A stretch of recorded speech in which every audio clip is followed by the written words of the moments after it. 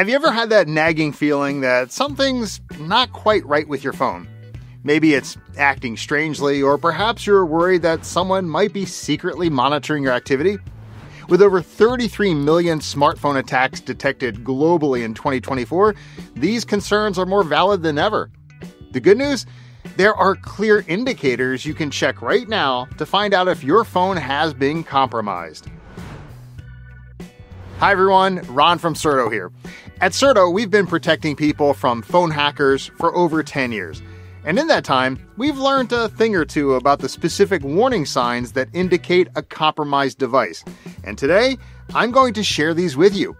And by the end of this video, you'll know exactly what to look for, how to detect hidden threats, and most importantly, how to protect yourself from phone hacking. Now, before we get into the checks, let's talk about why phone hacking is such a serious issue. Your phone is essentially your digital life in one device.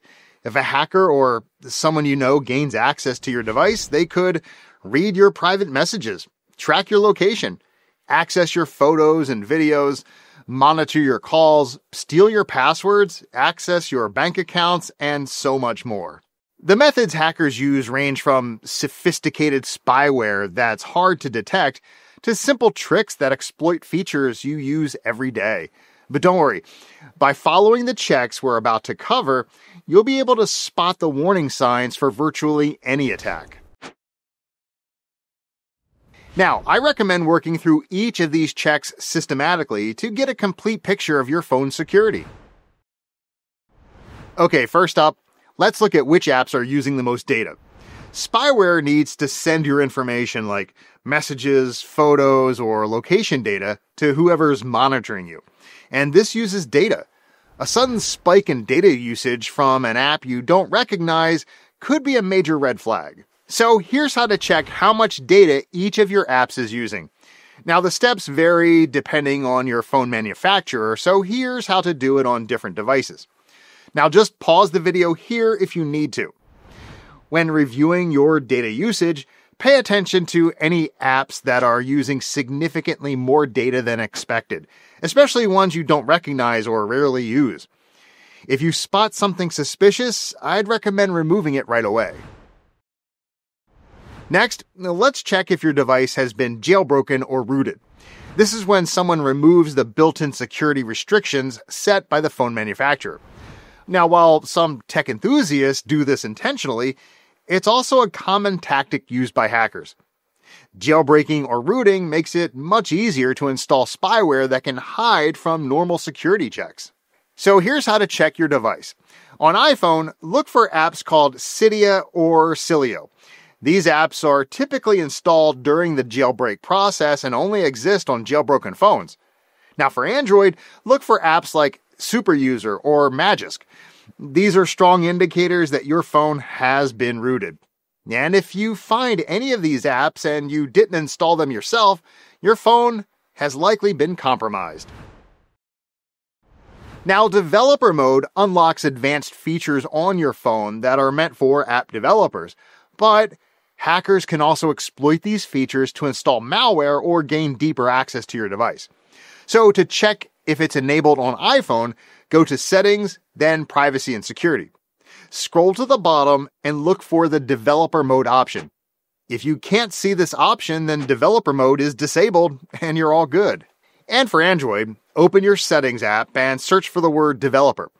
If developer options appear in the search results, then it's been enabled on your device. If developer mode is on and you did not enable it yourself, well, that's a big red flag, and I'd suggest you disable it right away. Spyware is the most intrusive method of phone hacking, and it's been in the headlines a lot recently. And it's getting smarter too, with many spyware apps now being specifically designed to hide from manual inspection. They might not show up in your app list, or they could disguise themselves as system apps. So, the most reliable way to detect hidden spyware is to use a dedicated security app like Certo Anti-Spy. It's purpose-built to find the kind of sophisticated spyware that other security tools miss. Certo uses advanced detection methods to perform a deep scan of your device, checking for hidden spy apps, jailbreaks and rooting, keyloggers, monitoring software, and suspicious system modifications. And if Certo detects any threats, well, removing them is simple.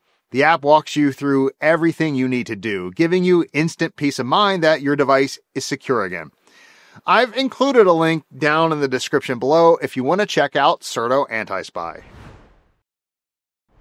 Now, for iPhone users, checking for unknown configuration profiles is crucial. These profiles can allow malicious apps to be installed or give someone remote control over various aspects of your device. So to check, go to Settings, General, then VPN and Device Management. If you see any profiles listed here that you don't recognize or didn't install yourself, they could be malicious. Legitimate profiles are usually from your employer or school. Anything else should raise suspicion. Now, to remove a suspicious profile, tap on it and then tap Remove Profile. Android users should check for any apps that have device administrator permissions. Spyware often requests these elevated permissions to avoid being uninstalled and to access sensitive information. So to check, open your Settings app and search for Device Admin. Then tap Device Admin Apps in the search results. Here you'll see a list of apps with administrator access. If you spot any suspicious apps with these permissions, it's a major warning sign. And to revoke permissions, tap the toggle next to the app and then select Deactivate. You can then safely uninstall the app if required. So, the next check is especially important because it's a method that doesn't even require installing anything on your phone. Yet, someone could still be reading all your messages. Many messaging apps like WhatsApp, Signal, and Telegram allow you to link your account to other devices. If someone had access to your unlocked phone for just 30 seconds, they could link your messages to their computer and read everything you send and receive. All right, now here's how to check the most popular apps. In WhatsApp, go to Settings, then Linked Devices. For Signal, tap your profile picture, then go to Settings, Link Devices. And finally, for Telegram, go to Settings, then Devices. If you see any devices you do not recognize, tap on them and select Log Out or Remove. And if you want to learn more about the Link Devices attack, I've just posted a video covering it in much more detail. I'll pop a link down in the description.